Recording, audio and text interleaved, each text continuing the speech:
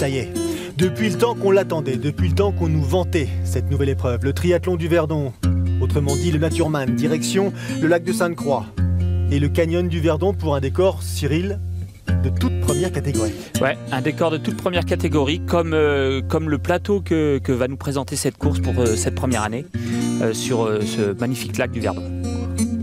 C'est une première édition, mais on m'a dit beaucoup de bien de, de cette région. On m'a dit que c'était euh, absolument magnifique. Euh, donc euh, été tenté de, de venir euh, ici pour aussi terminer, ma, terminer ma saison de la meilleure des façons. En ce qui concerne la natation, le, le, lac est, est magnifique et l'eau est très tranquille, donc je pense que ça va être très joli. ensuite, en ce qui concerne le, le circuit cycliste, de ce que j'ai pu reconnaître à vélo ou en voiture, c'est un circuit qui est très varié, très intéressant, euh, très amusant, donc je pense qu'on va bien en profiter. Et enfin, la course à pied euh, est très sauvage, correspond bien à l'esprit de la course, euh, avec quelques points de vue extraordinaires. Présentation faite par Marcel Zamora himself, triple vainqueur de l'Embrunman, quintuple vainqueur de l'Ironman Nice et je dirais presque ici tête de gondole de ce, cette nouvelle épreuve en l'occurrence le Naturman. Les salles sur Verdon, c'est le lieu même Alors un de l'organisation. euh, comme ça en fin de saison, ce que ça peut apporter, c'est quelque chose d'énormément convivial. Les gens aiment s'y retrouver pour euh, la dernière échéance de l'année, euh, avec moins d'objectifs, on va dire compétitifs, un petit peu co- comme je l'aborderai demain, et où on a plaisir à tous se retrouver entre organisateurs, compétiteurs, amis de club euh, et autres personnes que l'on côtoie toute l'année sur les courses avec moins de, moins de pression et moins de stress. Il paraît qu'il y a une énorme bosse à 16%, mais j'aime les bosses. Donc tout va bien. Je viens là pour profiter. Je sais que le cadre va être magnifique. Voilà, les, objectifs purement sportifs vont probablement passer après demain. C'est toujours beau une première édition, moi je trouve. Donc euh, vachement motivée dans ce sens-là. Juste envie de me faire plaisir et de donner euh, tout ce qui me reste comme énergie euh, sur cette dernière course. Ça va être, je pense, un, vraiment un, un chouette parcours parce qu'on a vraiment des vues magnifiques sur le lac de Sainte-Croix et après quand on est sur le plateau de Valençol. Ensuite la course à pied est vraiment ludique avec beaucoup de changements de terrain. Donc ça, ça me, ça me plaît. J'aime beaucoup tous les parcours nature, un peu un peu ce qui ressemble à du trail et il y a à la fois euh, du chemin, à la fois du bitume, il y a beaucoup de relances, euh, ça va être vraiment varié donc euh, je pense que ça va me plaire. Ben, là, je vais voir euh, ce qui reste. euh, Pour la fin de saison, c'est bien passé, mais euh, j'ai enchaîné beaucoup de courses, donc euh, on verra ce, ce qui reste comme force. Du beau temps, c'est pas trop chaud, c'est bien. C'est fantastique, c'est un cadre sublime pour faire un triathlon. Là. Puis il y a du monde, c'est super, là, l'eau est bonne, la journée va être magnifique. On y est, on y est Alors qu'est-ce que ça va donner là ce matin? Ah, on va prendre du plaisir. non, ça va être top. Cyril, il y a encore la place pour les nouveaux triathlons dès lors qu'on propose une réelle différence. Ouais, un parcours vraiment atypique, un, un cadre magnifique. euh, comme l'a dit euh, Marcel, c'est un circuit euh, très varié, que ce soit en vélo ou en course à pied, avec euh, une première partie où euh, un col assez long, mais sans grande grande difficulté. Et puis euh, sur le reste du parcours, des, pourcentages plus importants, des, côtes assez assez raides, notamment une avec des passages à presque 15%. Donc un parcours vélo quand même très très varié. Et puis on le voit, hein, une super ambiance, des athlètes qui sont là pour finir une belle saison et on l'a dit et on va le redire, un cadre vraiment superbe.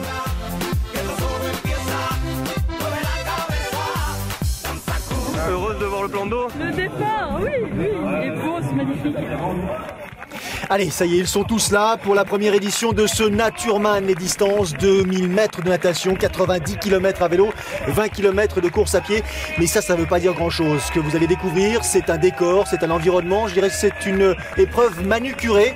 Et pour cette première édition, ils sont 700 inscrits au départ, des pros, des amateurs, et surtout l'occasion de terminer, je dirais, une année de compétition dans les meilleures conditions.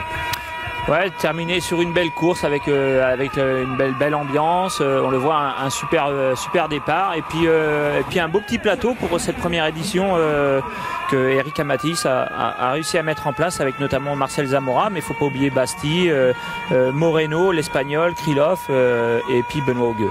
Benoît Augueux, mais il y a aussi Brice Feuillu, et ça c'est la surprise, je dirais presque du jour, le cycliste professionnel qui a tâté du triathlon dans une carrière antérieure et qui là pour l'occasion a repris sa combinaison pour euh, venir se frotter aux spécialistes de la discipline. Et chez ces dames, il y a bien sûr la présence d'Alexandra Louison, de Delphine Pelletier, des athlètes qui ont connu des fortunes diverses et variées cette année, mais qui au moins ont l'habitude de montrer leur bout de leur museau de manière très régulière. Les conditions de course, regardez, il fait vraiment un temps, je dirais, idéal. Nous sommes dans le département du Var, région Provence-Alpes-Côte d'Azur, et c'est presque la fin de l'été. Vraiment des, conditions idéales. Euh, toutes les conditions sont parfaites pour, pour faire un, très très bon temps natation. Hein. On le voit, pas, pas, pas de vent. Euh, pas une vague, donc euh, une, super température euh, au, niveau, au niveau de l'eau. Donc euh, je pense que les, nageurs devraient pouvoir faire un, très très bon temps. Et puis à noter aussi la présence de, Rob Barrel, un, retour. Effectivement, Rob Barrel, un ancien, celui qui a été sacré champion du monde de triathlon longue distance, version ITU en 1994. C'était à Nice, à Nice, un endroit que vous connaissez bien. Et pour cause, les premiers à sortir de l'eau, Denis Chevreau, Stanislav Krylov. Krylov qui lui aussi nous a offert quelques, je dirais, compétitions euh, assez dynamique, bien animée, et qui une semaine auparavant disputait le challenge, c'est-à-dire le format Ironman à Barcelone. Ouais, c'était son premier Ironman, donc euh, là il est sur une distance qu'il affectionne, hein, le, half, le moyenne distance, le half Ironman. Euh, maintenant, une semaine après un Ironman, on, va voir justement s'il a bien récupéré et s'il est capable d'enchaîner les courses. Allez, on suit la transition des deux premiers compétiteurs. Pour l'instant, Stanislav Krylov, habillé en rouge avec son casque de contre-la-montre aux couleurs émeraude ou presque, les couleurs, je dirais presque, de ce lac de Sainte-Croix, tellement ces reflets nous donnent parfois des, presque des couleurs de vacances.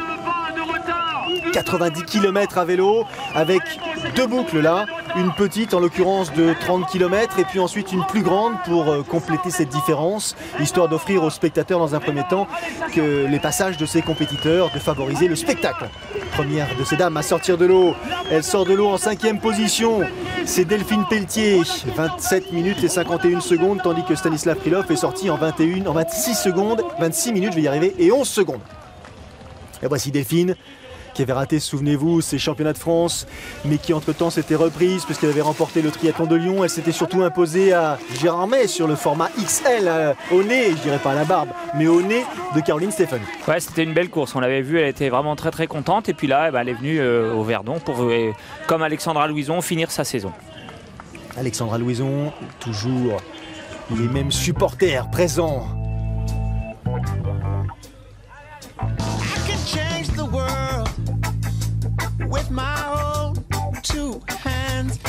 better place with my own two hands. Make a kind of place.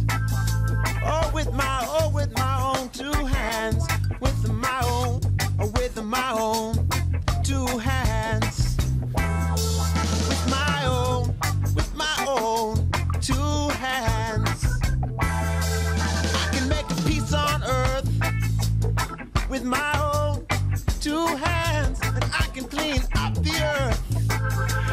700 compétiteurs inscrits pour cette première édition. Ils sont venus profiter, je dirais, du temps clément de cette fin d'année ou de ce début de mois d'octobre, puisque la compétition avait lieu le 7 octobre.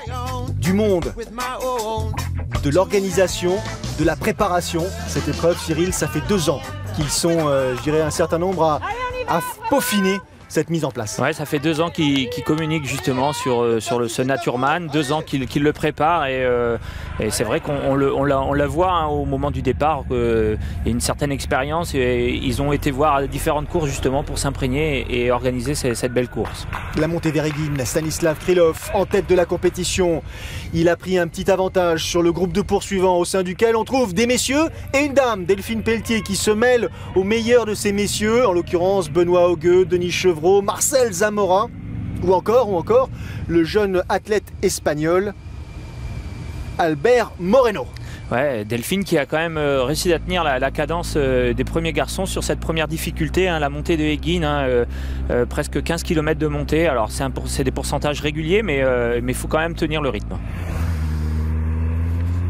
Conditions de course, j'insiste, quasi parfaite. Il a plu, il a plu beaucoup les jours précédant la compétition, mais comme par hasard, comme par magie, regardez le, les perspectives offertes aux compétiteurs. Stanislav Krylov, lui, passe aisément du Havre au Verdon sans difficulté avec la même position, la recherche de vitesse en permanence. Ouais, tout le temps la, même, position sur le vélo, même, le même vélo, le même, le même cadre de vélo, le même casque, quelle que soit la difficulté du parcours. j'ai choisi dernier. C'est le dernier nageur, le dernier de ses compétiteurs à sortir de ce lac de Sainte-Croix, lac artificiel créé et pour cause à l'occasion de la construction du barrage sur le Verdon, le lac de Sainte-Croix qui date de 1973. 22 hectares absolument magnifiques où l'on peut profiter aisément de la température de l'eau très très agréable. Parcours vélo dessiné justement autour de, je dirais pas cette pièce d'eau, mais derrière ce monument et Alexandra Louison qui est sortie de l'eau, elle, après 32 euh, minutes et 15 secondes, c'est-à-dire 4 minutes ou 5 minutes derrière Delphine Pelletier, elle crache. Euh, voilà, bon, concernant ma course aujourd'hui, euh, j'ai fait une natation correcte. J'étais assez content de moi puisque, encore une fois, ça fait trois semaines un peu que je fais de la natte et avant je nageais, mais, mais là en tous les cas, c'est je me suis fait plaisir. Euh, je tors 24, 25 de l'eau, je crois qu'on m'a dit. Bon, après la transition, euh, j'étais un peu à côté de la plaque. Euh, c'était presque si je mettais le casque avant d'enlever la combinaison. Donc, voilà, j'étais pas top du tout. Mais, après, je crois que je dois sortir du parc à vélo 4, 4 minutes 30 peut-être derrière le premier. Et puis je le rattrape à la fin de la première boucle quasiment à hauteur du kilomètre 35. C'est la fusée feuillue qui euh, déboule subitement. Stanislav Krylov, leader jusqu'à présent, est vraiment stupéfait. Regardez les anges du coureur professionnel. Le coureur de l'équipe Sor Sojason, vainqueur de l'étape de Tour de France en 2009, qui arrivait à Arcalis. Il est en train de faire un numéro, un show. il est en train de faire un show et c'est vraiment très très intéressant. Hein. Il a fait une bonne natation parce que, comme il le disait, c'est pas, pas son point fort. Euh, un peu perdu au niveau de la transition, ça c'est normal. Il lui faudra encore quelques triathlons pour, pour bien s'adapter. Contre, euh, bah hein, sur ce parcours vélo, il se fait plaisir et, on voit euh, toute la différence avec, euh, avec les triathlètes professionnels, la différence justement avec un, ancien coureur cycliste professionnel. Ça, c'est l'ascension du parcours. The Ascension en quelque sorte, l'enfer du Sud. 2 km qui offre des passages à 16%. Il faut être solide, il faut être concentré,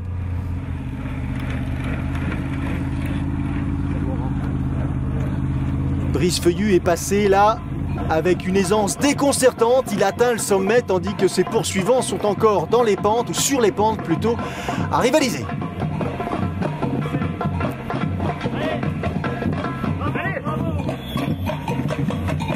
Objectif simple hein, pour Brice Feuillu, emmagasiner un maximum d'avance pour attaquer le parcours pédestre long de 20 km euh, dans les meilleures conditions parce que c'est pas sa spécialité. Non, c'est pas sa spécialité, mais il va falloir être vigilant quand même hein, parce que s'il donne trop, euh, s'il donne trop en vélo, surtout sur ces parties quand même euh, très très pentues, il risque de le payer à la fin et il risque surtout de le payer au départ de ces 20 km et, il lui faudra en effet énormément d'avance parce que on connaît les qualités de, de Marcel Zamora en course à pied. Et regardez les qualités de Delphine Pelletier sur ce tracé là en train de batailler devant. Feuillu a pris la poudre l'escampette. Mais il y a un athlète qui est sorti de ce groupe de poursuivants. C'est Félix Schumann qui essaye de prendre euh, de précieuses secondes au leader et surtout de précieuses secondes à ses poursuivants immédiats. Voici Félix Schumann. On retrouve de manière régulière sur le circuit Xterra s'était imposé en Afrique du Sud en 2009, ah, plusieurs top 10. mais euh, heureux puis malheureux. Heureux parce que la natation s'est super bien passée. Euh, on sort dans un petit paquet euh, avec notamment Marcel Zamora et Delphine Pelletier qui fait une, super natation. Le vélo se passe super, super bien. Et au 50e kilomètre, dans un virage, je sens mon, pneu arrière qui glisse un peu. Je me dis, oulala, peut-être qu'il est crevé. Et le virage d'après, bah, j'ai eu raison. le pneu complètement crevé, ça m'a fait déjanter. Et j'ai fini par une belle glisse euh, sur le bitume. Voilà. Euh, bon, j'avais amené beaucoup de réparations avec moi, donc j'ai pu réparer. Ça m'a pris environ 10 minutes le temps de me remettre de mes émotions, parce que c'est jamais agréable de glisser sur le bitume. Et puis je suis remonté petit à petit et euh, on est là avec les copains du club. C'est une belle course. Ça me tenait vraiment à cœur de, finir cette course. Du courage, je sais pas. en fait, on repart pas du tout pour la même chose jusqu'à la chute, on, se bat pour la place et après la chute, on, se bat pour la course, pour les copains, pour l'ambiance, on rencontre d'autres personnes qui sont sympas et, c'est bien. Voilà, voilà, un vrai finisher. Décidément, une année animée pour euh, Benoît Augueux. On a vu devant que ça s'animait aussi un tout petit peu. Marcel Zamora à droite. Christophe Bastille en rouge là qui, euh, avec l'Espagnol, essaye de limiter la casse. Demi-tour, kilomètre 62 à hauteur de Bodinard sur Verdon. Feuillu relance. À cet instant précis, là, il possède euh, une avance de 3,45 sur euh, Krylov et Schumann. Krylov en gros plan. Christophe Bastille, intéressant, là, qui était présent ici pour préparer son Ironman de Floride, qu'il a disputé le week-end dernier. Il a pris une septième place. C'était une, bonne course de préparation, hein, deux, trois semaines avant un Ironman. C'était intéressant de venir justement au Verdon pour, pour préparer euh, justement une distance un peu plus longue. On retrouve Alexandra Louison toujours en deuxième position pour ce qui concerne la course féminine. Facile, Alexandra, son style caractéristique, très aérien dans ses lacets justement. Regardez ce décor. On va l'enfer du sud. Excellent. Allez, courage.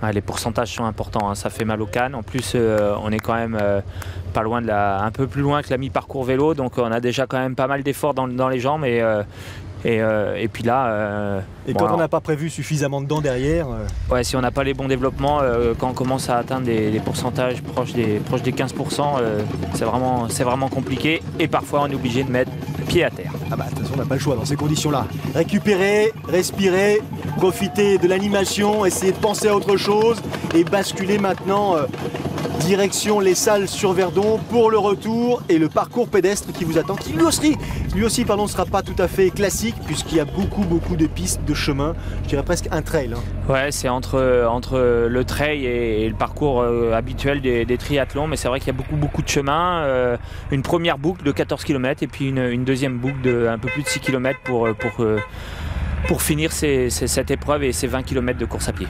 Allez, ils descendent. On a vu passer Feuillu, on a vu passer Krylov, on a vu passer Schumann autour de Bastille, Zamora, qui sont revenus sur Krylov et Schumann à la faveur des derniers kilomètres, justement. Un groupe de quatre compétiteurs désormais qui essayent de, s'organiser pour limiter la casse. Feuillu, dès qu'il le peut, il prend sa position de recherche de vitesse. Grand gabarit qui fend l'air avec. Euh, un temps vélo qui va en surprendre plus d'un puisqu'il va être le seul compétiteur de la, de la course à passer euh, sous les 2h25 en l'occurrence pour couvrir les 80 km. Ouais, c'est un, bon temps. Hein. On verra bien, mais euh, c'était super sympa puisque j'ai posé le vélo en tête. Que je ressors du parc, ils n'étaient pas encore arrivés, donc euh, c'est le petits trucs quoi. Mais en course à pied, euh, j'ai limité la casse, je me suis. Voilà, j'étais pas cassé de partout, donc en gros, je me suis fait rattraper par le premier au bout de 3 km de, de, course à pied, donc après, je faisais que de me faire rattraper, hein, j'en ai pas redoublé, mais c'était cool. C'est parti pour Bastille, c'est parti pour Schumann, c'est parti pour Kilov et c'est parti pour Zamora. 4 minutes de retard au moment d'attaquer les 20 km à, pied, 4 minutes de retard sur euh, Brice Feuillu, mais il nous l'a gentiment expliqué, ça va pas durer une éternité. Hein. Non, ça va pas durer une éternité, ça va être compliqué. Il faut dire qu'il avait affaire aussi à des spécialistes, hein, euh, Marcel Zamora, qui adore ces parcours comme ça, un, peu casse-pattes en, vélo, et puis euh, bon, un parcours plus ou moins trail. Euh, vraiment très très à l'aise sur, euh, sur ce parcours pédestre Marcel Zamora. Delphine Pelletier, en gros plan, on a vu passer Rob Barrel, l'ancien qui s'y plaît visiblement ici sur les rives du lac de Sainte-Croix. Alexandra Louison à son tour, toujours en deuxième position mais qui compte à, ce moment-là de la course presque 11 minutes de retard, donc ça va être compliqué euh, d'aller chercher Delphine Pelletier. Hein, euh, mais Delphine est vraiment en forme en cette fin de saison. Elle n'a vraiment pas eu de chance. Hein. Elle avait préparé une course importante dans l'année, c'était les championnats de France, et c'est la seule course où elle est passée un peu au travers. Et euh, elle nous avait dit hein, qu'elle ne comprenait pas parce que voilà, elle se sentait en forme, et on l'a bien compris tout au long de la saison, puisque derrière, elle a fait vraiment de, très, très, belles courses. En tout cas, face à fin de saison, est assez efficace. Là, voici la difficulté, la fameuse adrénaline, ou autrement dit, euh, la montée à Nico, en, en, hommage à Nico Lebrun qui a aidé à tracer ce parcours. Nico Lebrun qui, lui, est présent sur la course, pas en tant que compétiteur, mais en tant qu'ouvreur. Là, ça brûle, hein. ça brûle partout. là, ça fait mal. Hein, euh, euh, voilà, l'objectif c'est essayer de, monter, mais en marchant hein, comme la plupart, pour pas essayer de, de puiser dans, ses réserves et puis après de relancer la machine. Brice Feuillu qui se fait dépasser par Albert Moreno, l'autre compétiteur espagnol, beaucoup plus jeune que son euh, néné Marcel Zamora, mais promis sans doute lui aussi un bel avenir. Le voici Zamora en gros plan qui croise Delphine Pelletier, le premier de ces messieurs, qui croise la première de ces dames. Très à l'aise Zamora dans ses conditions de course. Il adore ce genre de profil de parcours, hein, tant à vélo qu'à pied. C'est pour ça aussi qu'à Embrun, il est euh, vraiment chez lui. Le fait qu'il n'ait pas concouru à Nice un peu plus tôt dans la saison à cause d'une blessure l'a peut-être aussi un petit peu préservé. Du coup, il est sans doute plus frais que les autres. Ouais, une blessure qui, qui, lui a sûrement permis d'arriver euh, vraiment en bonne forme en milieu de saison, notamment pour Embrun et sur cette fin de saison. Et oui, première édition du Naturman. Le premier vainqueur, c'est Marcel Zamora devant son compatriote Albert Moreno. Une course où il a pris aujourd'hui euh, beaucoup de plaisir. Le segment de natation était un segment euh, agréable, facile, ça, s'est bien passé. Après le segment de vélo, euh, c'est devenu dur. Il y a surtout eu le passage du premier col, la fameuse montée à 16%. Il été obligé de contrôler tout le temps ses, adversaires. Et puis dans la course à pied, dans la course à pied, même si c'était dur, il s'est fait plaisir puisqu'il aime beaucoup ce, ce genre de circuit. Et bien sûr, si en plus on peut monter au plus haut du podium et faire la victoire, et eh bien voilà, c'est une grande satisfaction. Et oui, effectivement, lui, c'est habituellement donc sa tactique puisqu'il est bon en course à pied. Donc effectivement, c'est ce qu'il nous disait. Il a, donc contrôlé pendant le segment antérieur. Quand il s'est retrouvé sur la course à pied, il a vu que lui se sentait très bien, très à, très à l'aise. Il savait que tout allait se jouer là et euh, donc euh, voilà, c'est là qu'il a fait sa course. Très content.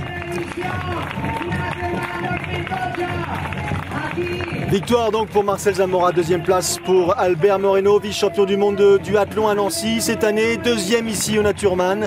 La France lui sourit visiblement.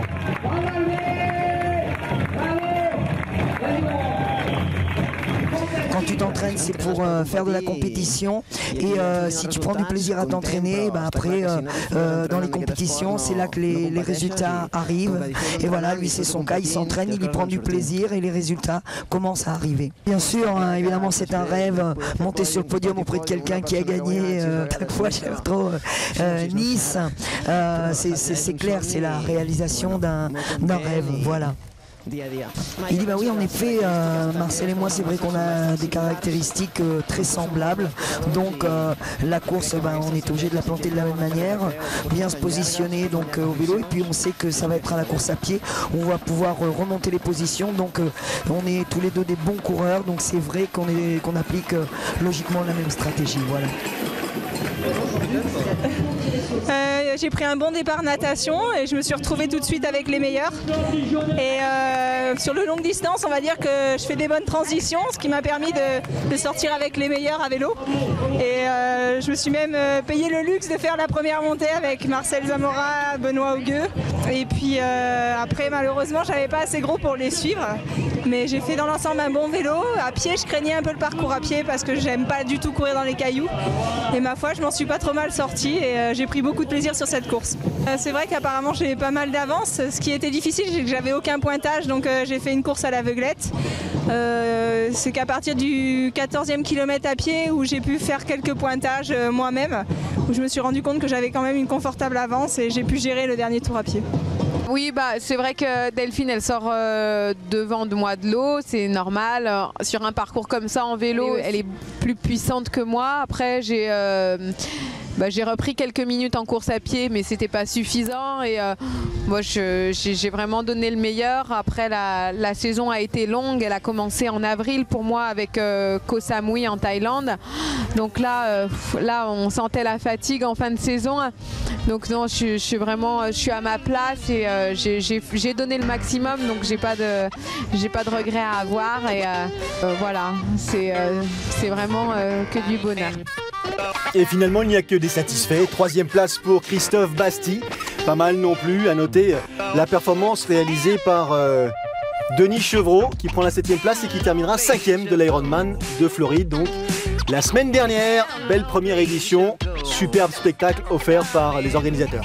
Ouais, c'était une belle course, une belle, euh, belle réussite pour, euh, pour cette première. On le voit, hein, des athlètes euh, satisfaits de leur course, satisfaits souvent de, leur saison. On le voit, c'est des athlètes qui arrivent quand même fatigués parce que le parcours était éprouvant et puis surtout parce que la saison a été longue. La preuve, des images qui ne trompent pas.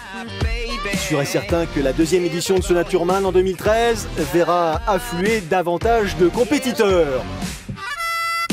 Prochain rendez-vous sur l'antenne de Sport Plus pour ce qui concerne le triathlon. On va rester dans un décor nature, un décor plus euh, sauvage. Partirons pour euh, Hawaï et en l'occurrence Maui pour vivre euh, le lundi 19 novembre les championnats du monde Xterra. Vous serez là bien sûr, j'en suis certain. Salut à tous. Salut.